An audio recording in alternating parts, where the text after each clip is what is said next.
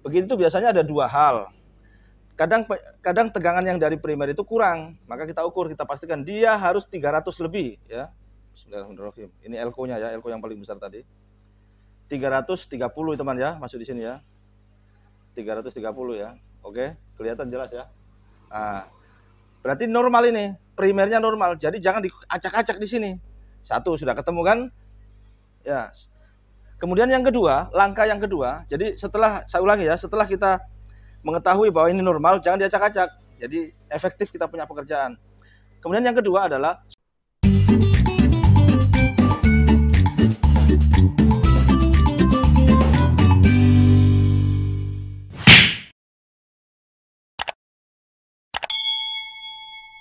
Assalamualaikum, jumpa kembali bersama saya lagi-lagi Indosel, Indonesia Service Elektronik. Halo kawan-kawan, sahabatku semua yang di seluruh tanah air. Salam sehat selalu, semangat selalu, maju tak gentar, membela yang bayar. Oke, baik kawan-kawan. Kali ini saya kedatangan televisi LG Ultra E Super Slim. Kerusakannya katanya gambarnya mengecil, mengecil kiri kanan. Ya, kita akan cek. Wow, hidup langsung hidup ya.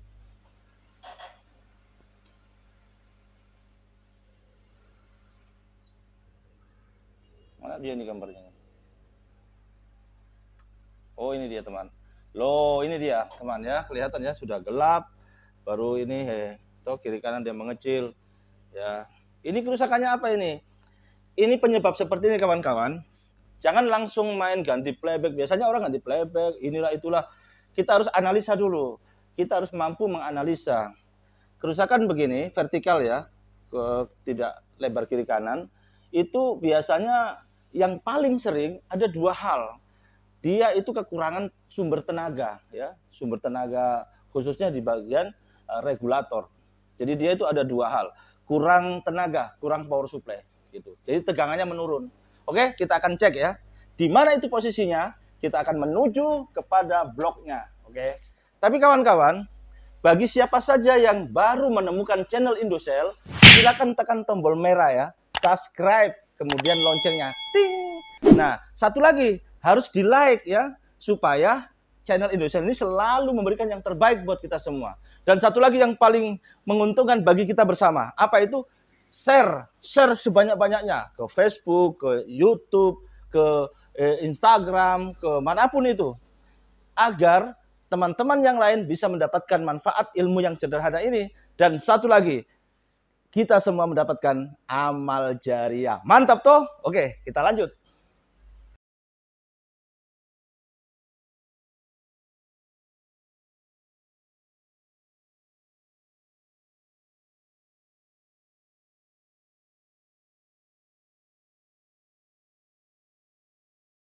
Woi, banyak sarang laba-laba teman, debunya.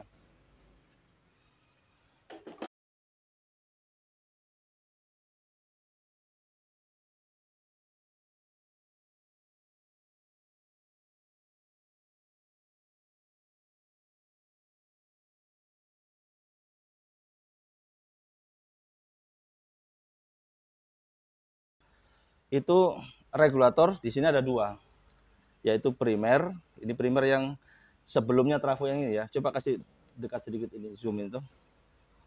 Ini yang ada trafo kuning ini ya. Kelihatan tuh trafo kuning ini yang saya tunjuk. Kelihatan ya? Ini agak besar ya. Ini adalah primer ditandai dengan elko yang paling besar ya.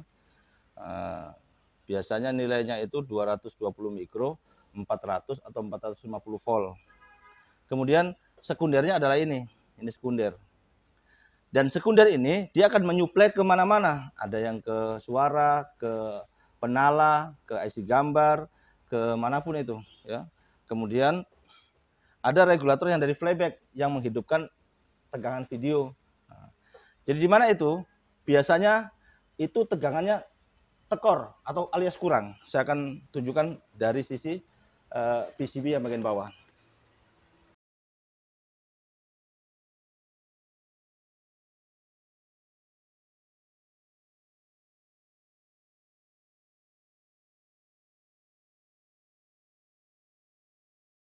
Ini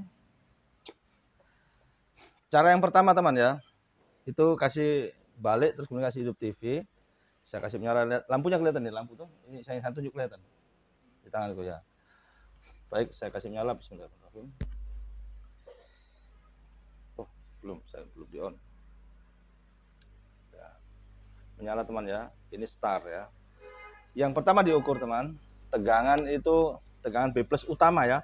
Ini tandanya pemisahnya adalah garis hitam ini menandakan bahwa yang di dalam garis hitam adalah tegangan atau regulator primer ya, sumber tenaga yang primer, yang utama, inti. Kemudian di luar garis hitam ini adalah sekunder. Nah, ini yang saya katakan trafo kuning tadi itu. Setelah melewati ini adalah sekunder. Nah, begitu biasanya ada dua hal. Kadang kadang tegangan yang dari primer itu kurang, maka kita ukur, kita pastikan dia harus 300 lebih ya. Ini elko-nya ya, elko yang paling besar tadi. 330 teman ya, masuk di sini ya. 330 ya. Oke, kelihatan jelas ya. Nah, berarti normal ini primernya normal. Jadi jangan diacak-acak di sini. Satu sudah ketemu kan? Ya. Kemudian yang kedua, langkah yang kedua. Jadi setelah saya ulangi ya, setelah kita mengetahui bahwa ini normal, jangan diacak-acak. Jadi efektif kita punya pekerjaan. Kemudian yang kedua adalah sumber tenaga atau regulator primer ya, eh sekunder. Yaitu setelah trafo ini di luar garis hitam. Nah, kita menuju ke elko yang besar dulu. Ini dia. Ini negatif, ini positif ya. Ini elko besar ini. Tegangannya 103. Dia kurang teman. Harusnya dia itu harusnya kalau TV LG 110, 115 ya. Kalau Samsung 125. Kalau TV nya 115, 120. Nah, ini harusnya 100 lebih sehingga dia itu menyempit kiri kanan. Nah, kemudian kita tes yang lain lagi. Yang mana lagi? Tegangan utama itu. Uh, ini kan tadi negatif ya. Tegangan 9 volt, ini 9 volt teman. 9 volt. Ini dia. Ada 9 volt ada ya. Uh, berarti dia hanya sebatas ini. Ya, yang harusnya 115 dia menjadi hanya 100 saja. 105 kurang. Nah, ini apa penyebabnya ini sehingga turun? Ada komponen pendukung regulator sekunder yang dia mengalami kalau elko dia kering ya, nilai kapasitasnya berkurang. Kalau resistor, nilai resistansinya berkurang. Jadi kadang bisa resistor, bisa kapasitor ya. Itu dua saja intinya kalau bukan resistor kapasitor. Nah, biasanya itu di bagian positif yang menuju ke rangkaian uh, pendukung regulator primer. Biasanya itu elko-nya itu nilainya kecil, tapi voltnya tinggi. Yaitu biasanya pada satu mikro atau berapa, tapi nilai kapasitas eh, voltnya itu 250. Kita akan lihat apakah ada. Biasanya di dekat-dekat sini, teman. Saya akan balik dulu ya. Saya matikan dulu. Agak agak apa menjauh sedikit, nanti mendekat lagi. Nah, ini biasanya teman ini coba lihat ini ya. Ini teman, kelihatan kelihatan terang kayak sini, terang. Nah, biasanya teman itu ini kan elko yang tadi, elko yang harusnya 115, tapi dia hanya 100 lebih saja. Kalau yang ini yang utama tadi 330 ya, tidak ada masalah, aman. Nah, jadi yang bermasalah di sini 9 volt masih tetap ini ada 9 volt di sini ya.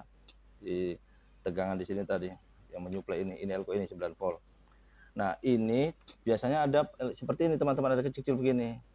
Elko kecil gini, kelihatan ya saya tunjuk ini ya. Elko kecil ini. Yang nilainya 1 mikro.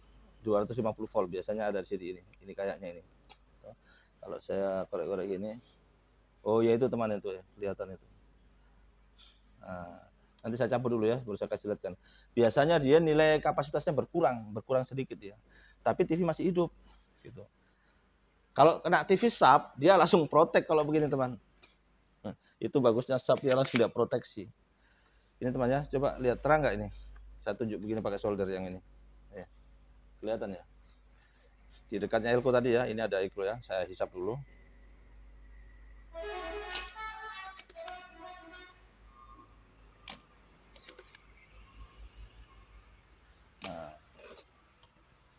tuh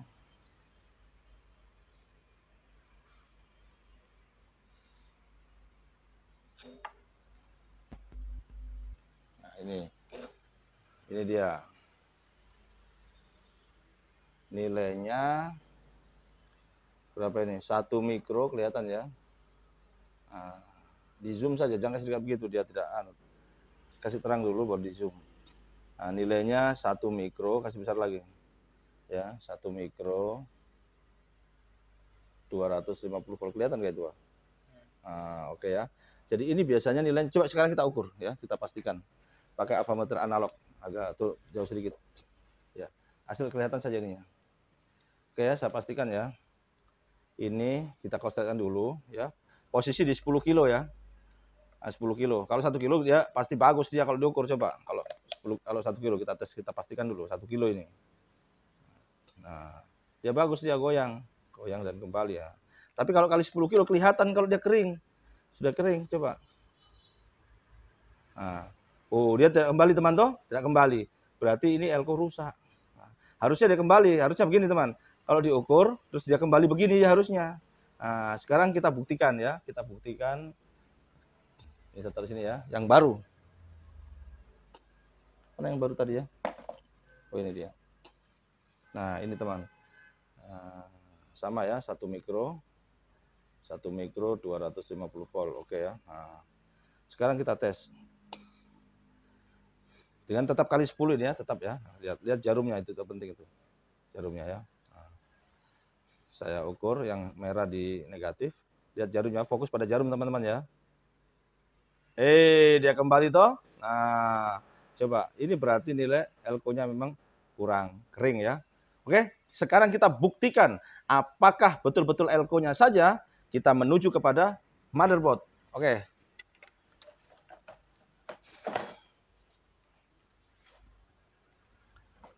Insya Allah selama berdasarkan pengalaman yang sudah sering ya sudah terjadi itu memang elko teman ya hanya supaya teman-teman apa itu bertambah keyakinannya maka dibutuhkan fakta ya bukti gitu tapi jangan lupa ya teman-teman nanti terbalik ya, jangan sampai terbalik ya. Yang ingat ya, biasanya yang itu tanda negatifnya itu ada putih sini, kelihatannya putih ini. Tanda negatif ya. Nah, oke, saya coba masukkan dulu. Oke. Solder.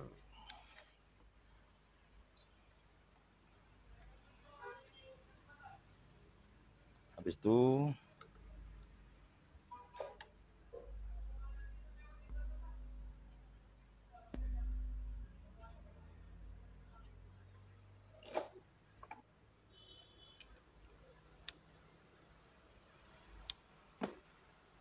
Habis menyolder jangan lupa dikuas teman ya. Ini adalah strategi saya. Biasanya kalau habis dikuas itu eh apa habis solder masih ada serpi-serpihannya. Nah, kemudian sekalian dikuas semua ini debu-debu yang ada ini supaya bersih sekalian satu kali jalan. Ya teman, jadi setelah dipasang elko-nya kita sekarang pastikan betulkah tegangan itu dia tekor tadi setelah saya ganti elko insya Allah ya kita kasih hidup dulu lampu eh, apa TV Bismillahirrahmanirrahim. Nyala lampunya. Nah, kemudian kita pastikan tegangan yang B plus tadi ya. B plus tegangan sekunder ya di luar area hitam ini yaitu di sini ini B plusnya ini. Dia biasanya LG 115 ya kurang lebih lah tuh. nah ini dia teman teman 118 oke ya. Tadi kan 105 ya.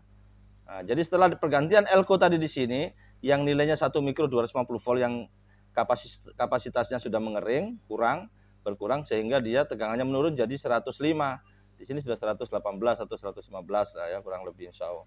Dan ini sudah menandakan TV itu dia lebar. Coba lihat di situ. Coba teman. Kita pastikan coba. Coba lihat apakah TV sudah coba lihat baik-baik. Apakah TV sudah lebar gambarnya? Coba lihat teman. Bagaimana? Bagaimana teman? Sudah full ya kiri kanannya? Full ini teman. Eh, full. Harus ke sini lihat gambarnya. Coba saya kasih lihat gambarnya.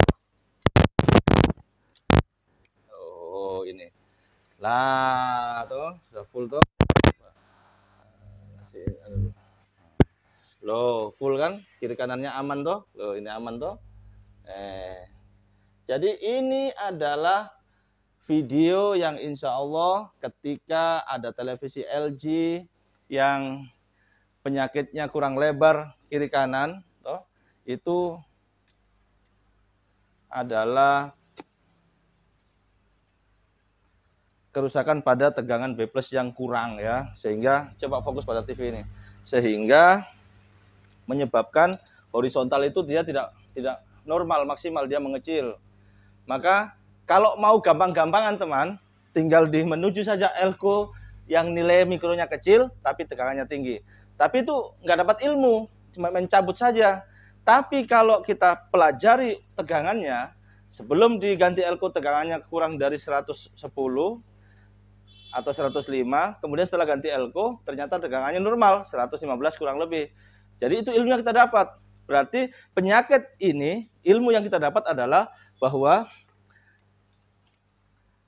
kekurangan tegangan pada regulator sehingga gambar itu tidak maksimal. Oke, saya kira begitu teman ya. Insya Allah Semoga video ini bermanfaat bagi kita semua. Tolong bantu share ke mana pun supaya teman-teman kawan-kawan yang lain bisa memanfaatkan ini. Dan insya Allah mendapat ilmu jariah. Oke, Indosiar gak ada apa-apanya kawan. Kalau tidak dengan izin Allah Subhanahu Wa Taala. Oke, wassalamualaikum.